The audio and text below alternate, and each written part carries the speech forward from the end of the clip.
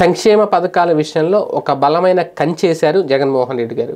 ఇప్పుడు ఆ కంచె దాటి పథకాలను బయటికి తీసుకెళ్ళి పక్కన పడేస్తామంటే ఎట్టి పరిస్థితుల్లో కుదరదు. ప్రజలు ఒప్పుకోరు.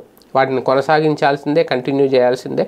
అంటే చరిత్రలో ఒకవేళ రేపొద్దు రెండు వేల ఇరవై నాలుగులో జగన్మోహన్ రెడ్డి గారు కనుక ఓటమి పాలైతే తన పథకాలు కంటిన్యూ అవుతున్నాయని చెప్పుకోవడానికి ఖచ్చితంగా ఉంటుంది. ఇప్పటికీ ఒక ఆరోగ్యశ్రీ గురించి విషయంలో వైఎస్ఆర్ పేరు ఎలా చెప్తున్నారు? ఒక పీజీఎంఎస్ విషయంలో వైఎస్ఆర్ పేరు ఎలా చెప్తున్నారు? అలాగే జగన్మోహన్ రెడ్డి గారి విషయంలో కూడా. ఎందుకంటే ఇప్పటివరకు ఆయన మేనిఫెస్టోలో ఆయన అమలు చేసిన సంక్షేమ పథకాలకు సంబంధించి దాదాపు రెండు లక్షల అరవై ఐదు వేల కోట్లకు సంబంధించి బటన్ నొక్కి డైరెక్ట్ బెనిఫిషరీ ట్రాన్స్ఫర్ ద్వారా అందరి అకౌంట్లో ఆ అకౌంట్ అమౌంట్ అయితే జమ చేశారు. ఇప్పుడు రేపొద్దున రెండు వేల ఇరవై నాలుగు ఎన్నికల తర్వాత ఏర్పడే ప్రభుత్వం ఏదైనా సరే వైసీపీ ప్రభుత్వం అమలు చేసిన ఈ ఎనిమిది ప పథకాలని ఖచ్చితంగా కంటిన్యూ చేయాలి.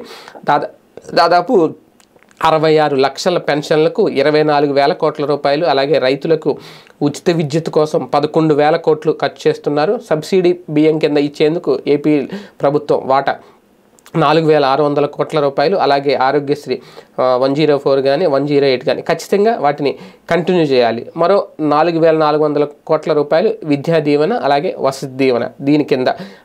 అంటే వీటిని ఎవరూ ఎవరు కూడా ఖచ్చితంగా టచ్ చేయలేరు అనేది తాజాగా జగన్మోహన్ రెడ్డి గారు చెప్పింది. అలాగే ప్రతి గ్రామానికి ప్రతి ఇంటికి ప్రతి పేద కుటుంబానికి కూడా మంచి చేసాం మంచి జరిగింది అనేది దాన్నే ఖచ్చితంగా రేపొద్దున్న మళ్ళీ అదే గెలిపిస్తుంది అనే నమ్మకం అయితే కనిపిస్తుంది. అందుకే ఆయన why not one seventy five అని టార్గెట్ పెట్టుకున్నారు. ఎందుకంటే ప్రతి ఇప్పుడు సచివాలయం లేని గ్రామం ఉందా?